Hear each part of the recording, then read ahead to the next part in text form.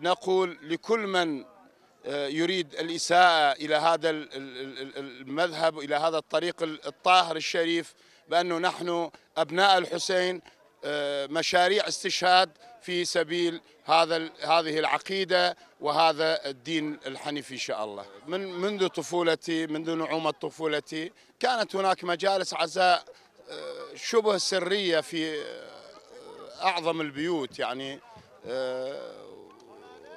ولكن بشكل سري لأن النظام البائد كان يمنع هكذا مجالس ولكن كانت تقام هنا وهناك ولكن ما كانت بهذا الشكل ولا بهذه الكيفية.